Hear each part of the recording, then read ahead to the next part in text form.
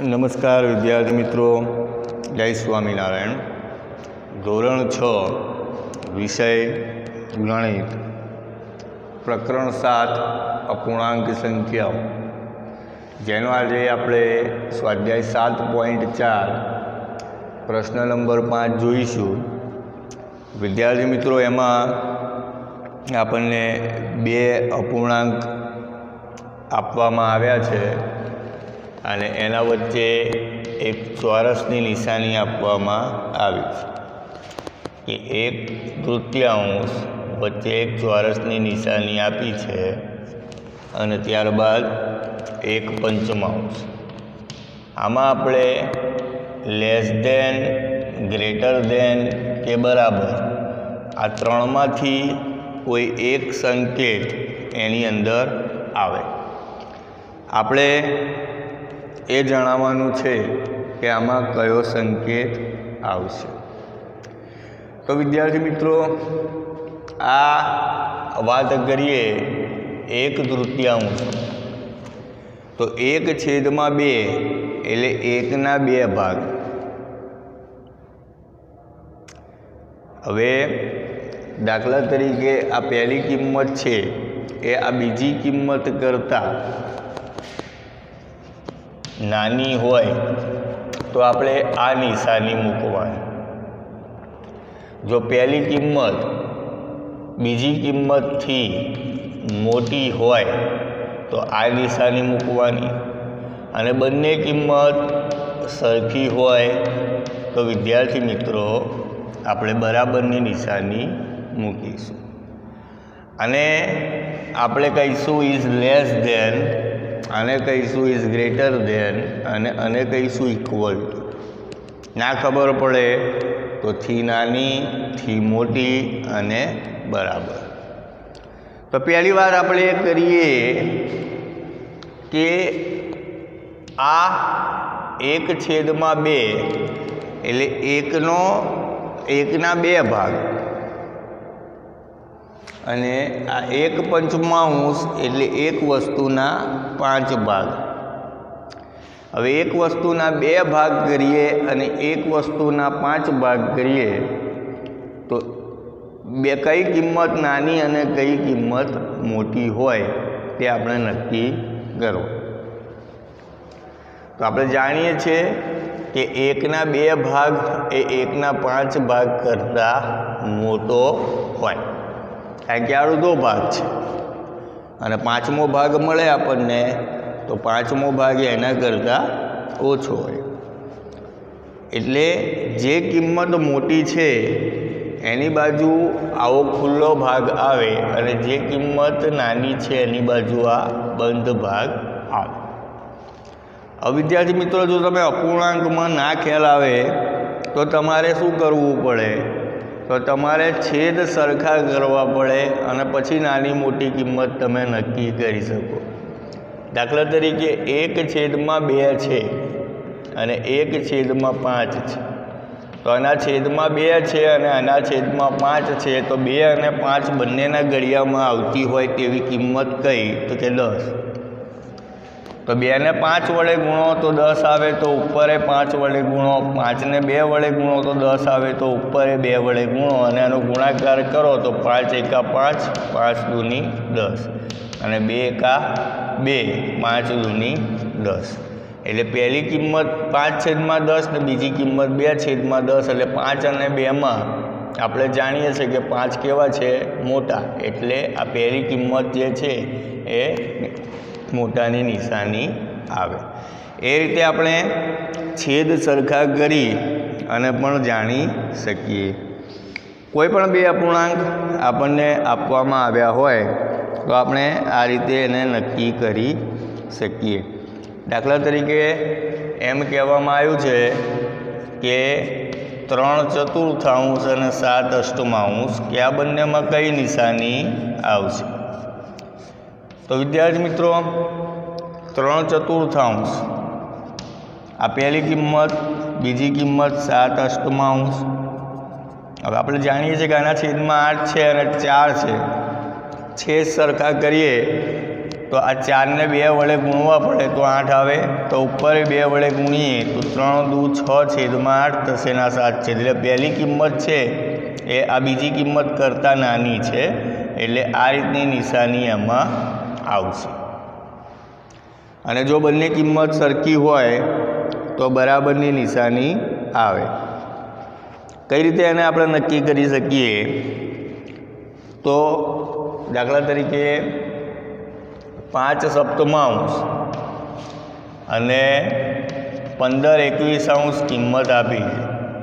તો વિદ્યાર્થી મિત્રો, આના આપણે છેદ સરખા કરીશું. તો પાંચ છેદમાં સાત, એ પહેલી કિંમત છે, બીજી પંદર છેદમાં એકવીસ છે. આપણે સાતને ત્રણ વડે ગુણીએ તો ઉપર ત્રણ વડે ગુણવા પડે, તો આ કિંમત થઈ જાય પાંચ તરી પંદર ને સાત તરી એકવીસ. તો આ બંને કિંમત સરખી થાય છે, તેથી અહીંયા બરાબરની નિશાની આવશે. તો આ પ્રમાણે આપણે કઈ કિંમત મોટી, પહેલી કિંમત મોટી છે કે પહેલી કિંમત નાની છે? કે બધી કિંમત બરાબર છે તે આપણે નક્કી કરી શકીએ. આ રીતે પ્રશ્ન નંબર પાંચ તમારે ગણવાનો રહેશે. ત્યારબાદ આપણે વાત કરીશું પ્રશ્ન નંબર છ. પ્રશ્ન નંબર છમાં આપણને અતિક સંક્ષિપ્ત રૂપ આપવાનું કહેલું છે. અને અતિક સંક્ષિપ્ત રૂપ કઈ રીતે શોધવું તે આપણે આના પહેલાંના વિડીયોમાં જોઈ ગયા છીએ. અને ના ખબર પડે તો તમે આના અગાઉનો વીડિયો ખોલી અને અતિક સંક્ષિપ્ત રૂપ કેવી રીતે શોધવું એ જાણી શકો છો. ત્યારબાદ આપણે વાત કરીએ પ્રશ્નોની. તો પ્રશ્ન નંબર જોઈશું આપણે આઠ, પ્રશ્ન નંબર છ અને સાત જે તમારે જાતે પ્રેક્ટિસ અર્થે કરવાનો રહેશે. પ્રશ્ન નંબર આઠ, જેમાં આપણને કૂટ પ્રશ્ન ટાઈપ પ્રશ્ન આપવામાં આવ્યો છે કે સો પાનાની એક ચોપડીમાંથી, સો પાનાની એક ચોપડી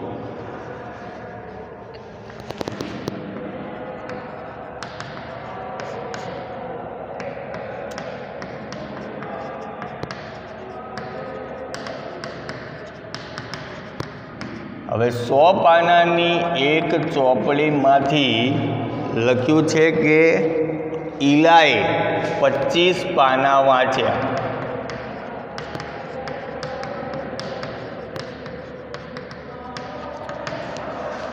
સો પાનાની એક ચોપડીમાંથી ઈલાએ પચીસ પાના વાંચ્યા.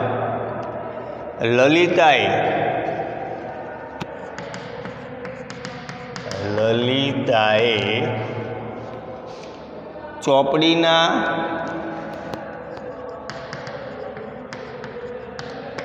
બે પંચમાંશ જેટલા પાના વાંચ્યા.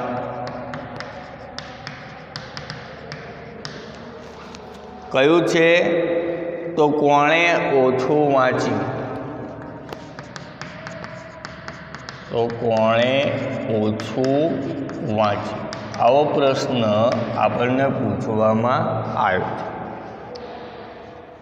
હવે આપણે એ જાણીએ કે ચોપડીના કુલ પાના સો છે. હવે ઈલાએ વાંચેલા પાના છે પચીસ. તો ઈલાએ જેટલા પાના વાંચ્યા એને સૌથી પહેલાં આપણે અપૂર્ણાંકમાં ફેરવી નાખીએ. તો અપૂર્ણાંકમાં એને ફેરવીએ તો આપણે લખીશું ઈલાએ વાંચેલા પાનાનો અપૂર્ણાંક. તો ઈલાએ વાંચેલ પાના પચીસ અને કુલ પાના સો. તો વિદ્યાર્થી મિત્રો, આનું અતિક સંક્ષિપ્ત રૂપ આપીએ. તો આપણે જાણીએ છીએ કે પાયો પાયો પચીસ થાય અને વીસ પંચાસો તો પાંચ પાંચ ઉડી ગયા. આગળ એ ભાગ ચાલશે પાંચ એકા પાંચ પાંચ ચોક વીસ. તોય પાંચ પાંચ ઉડી ગયા. તો અતિક સંક્ષિપ્ત રૂપ થશે એક ચતુર્થાંશ. એટલે કહેવાશે, ઈલાએ એક ચતુર્થાંશ ભાગનું વાંચન કર્યું. જ્યારે લલિતાએ બે પંચમાંશ ભાગનું વાંચન કર્યું, તે આપણને આપેલું છે. તો આપણે એક ચતુર્થાંશ અને બે પંચમાંશ એને આ રીતે લખીએ. વચ્ચે ચોરસની નિશાની કરીએ અને વિચારીએ કે આમાં કયો સંકેત આવશે. તો સૌથી પહેલાં પહેલી કિંમત આપણે લખીએ, એના નીચે બીજી લખીએ તો આ એક ચતુર્થાંશ છેદ સરખા કરવા માટે ચારને પાંચ વડે ગુણ્યા તો ઉપરે પાંચ વડે ગુણીશું. બે પંચમાંશમાં છેદ સરખા કરવા માટે નીચે ચાર વડે ગુણ્યા તો ઉપરે ચાર વડે ગુણીશું. તો આ પાંચ એકા પાંચ છેદમાં વીસ થશે અને આ ચાર દૂની આઠ છેદમાં વીસ થશે. આપણે જોઈએ છે કે આ પાંચ ઓછા છે, આઠ કરતાં. એટલે પહેલી કિંમત નાની થશે, એટલે આ રીતની નિશાની આવશે. કોણે ઓછું વાંચ્યું? તો પહેલું નામ આપણે કોનું લખ્યું હતું? ઈલાનું. તો જવાબ આવશે, ઈલાએ ઓછું વાંચન કર્યું છે. આ જ રીતે વિદ્યાર્થી મિત્રો, આ સ્વાધ્યાય સાત પોઈન્ટ ચારના પ્રશ્નો તમારી જાતે, તમારે વ્યવસ્થિત રીતે ક્યાંય પણ જોયા વગર પોતાની બુદ્ધિથી સમજી વિચારીને લખવાના રહેશે. દરેક વિદ્યાર્થીને જય સ્વામિનારાયણ.